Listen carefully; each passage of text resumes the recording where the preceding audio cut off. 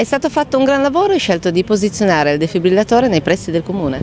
Sì, certo, c'è stata questa grandissima collaborazione fra il Comune e Croce Rossa e proprio per cercare di dare un servizio a tutta la cittadinanza indubbiamente utile. E, um, oggi è stato finalmente inaugurato dopo tutto un percorso di preparazione e di corsi come dicevamo prima con eh, Cristina, sono stati 185 i corsi fatti in Croce Rossa gratuitamente per tutti i residenti, non è poco secondo me. Anche perché è molto importante che i cittadini siano formati e possano saperlo utilizzare per qualsiasi esigenza. Assolutamente sì, questo è stato lo scopo, perché più persone saranno formate e saranno in grado di utilizzare un defibrillatore in caso di necessità, eh, ci sarà sicuramente la possibilità di intervenire con eh, velocità e fortunatamente si potrebbe anche salvare una vita, che non è poco. È stato messo al sicuro, al coperto, allarmato e con videocamera?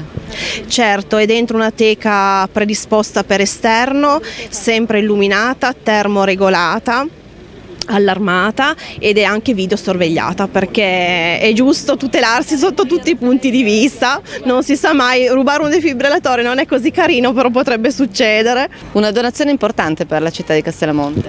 Sì, eh, sicuramente sì perché io sono nata a Castellamonte, vivo a Castellamonte, lavoro a Castellamonte da 26 anni e mm, sicuramente questo rafforza come dire la mia volontà di, di, lavorare e operare in questo paese. E, mh, devo ringraziare tantissimo con l'occasione la Croce Rossa, soprattutto il gruppo di formatori e la, la cui vicina Cristina, responsabile della formazione, perché stanno facendo un lavoro egregissimo Ehm, stanno formando veramente de, de, delle, persone, de, delle persone laiche, diciamo così, no, non dei formatori, non, non degli eh, operatori sanitari, ma le persone comuni, a imparare a usare questo defibrillatore.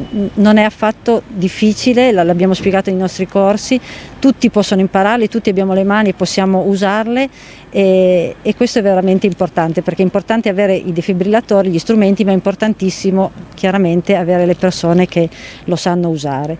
E questo la Croce Rossa lo, lo sta facendo, si sta impegnando per portarlo avanti, di questo ne sono orgogliosa e fiera. Lei l'ha ricevuto in dono e ha voluto metterlo a disposizione della città? Io l'avevo ricevuto in dono anni fa eh, dal dottor Mazzini in memoria del, del suo papà che era proprio mancato per arresto cardiaco a Castellamonte e, e quindi era un mio desiderio da tempo di poter donare questo, questo, defibrillatore alla città di Castellamonte in modo che non fosse recluso nel mio studio ma eh, fosse a disposizione di chiunque eh, sia in grado di, di, di usarlo.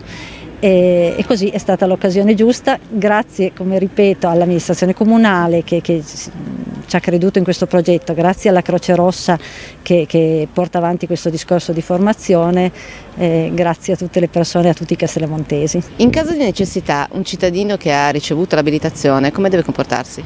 Allora chi è abilitato può venire direttamente davanti alla teca, aprirla e utilizzare il DAE attivando sempre il sistema di emergenza, quindi chiamando l'112 e chiedendo l'intervento poi dei soccorsi. Il DAE è accessibile a tutti. Ringrazierei Daniela a nome di tutta la Croce Rossa perché Daniela è il nostro responsabile sanitario e oltre a essere il nostro responsabile sanitario, quindi a caricarsi tutti impegni di visite, accertamenti medici di tutti i volontari, è anche uno dei pochi responsabili sanitari della Croce Rossa attivi, quindi lei è regolarmente iscritta, socia e fa servizio in ambulanza insieme a noi.